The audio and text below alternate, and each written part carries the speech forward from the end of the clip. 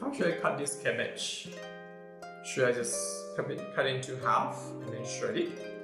Or should I peel it leaf by leaf and then cut it? Is there a theory that describes what I want to do? Or is it up to me to decide and therefore based on what I did, I come up with a new theory? Today we're going to talk about inductive versus deductive reasoning. One of the misconceptions of many researchers is that qualitative study is always inductive reasoning. But today I'm going to share with you why this is not necessarily the case. If you like this video, please hit the like button and subscribe to my channel. Let's begin. What are the differences between inductive and deductive reasoning in research? Inductive reasoning involves the construction of a theory based on an observation, and this is commonly known as theory building. And deductive reasoning, on the other hand, involves applying a theory to a specific observation to see if the theory is true, also known as theory testing.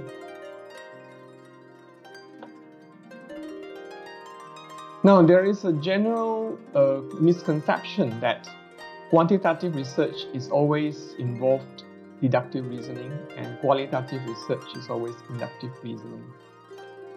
Um, I would say it is true that quantitative research is involved, um, does involve okay, deductive reasoning because it focuses on either the relationship between variables or differences or changes in the independent variables.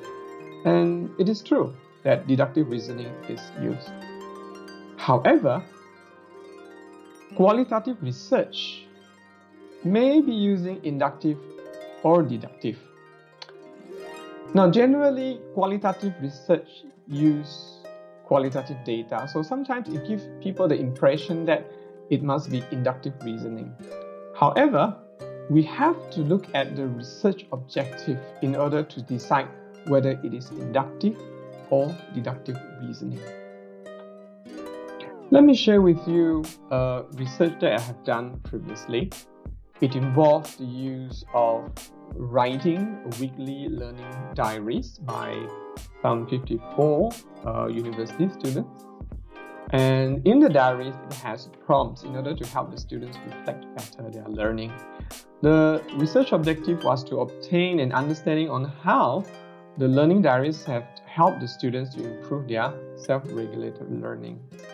So the focus is on the understanding of the process, understanding of the learning. So I have used a theory to help me to analyze the data and to obtain an understanding. Um, the theory was self-regulated learning. So in this case here, I'm not looking at theory building. I am actually trying to see how um, this phenomenon can provide an understanding based on a theory. So a theory was involved. So in this case here, it was deductive reasoning. Even though it is a qualitative study, the data that I've collected was qualitative data, but the reasoning involved was deductive reasoning.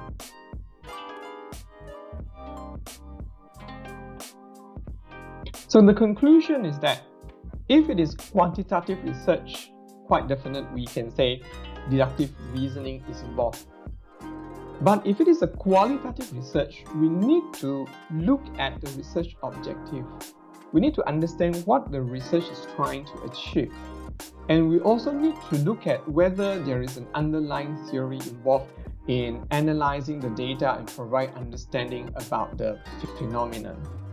So if you really think about all these factors, research objective and the theories, it, it could be either one or even it could be both, where the analysis of the data have to go through two stages. The first stage would be um, deductive and followed by inductive. So in a way, there's a lot of possibilities. So what I want to encourage everyone is that always check the research objective and see whether there's any theories involved before we jump to the conclusion and say qualitative research has to be inductive reasoning. So I hope this video gives you some idea about qualitative research. I'll see you in the next video. Bye!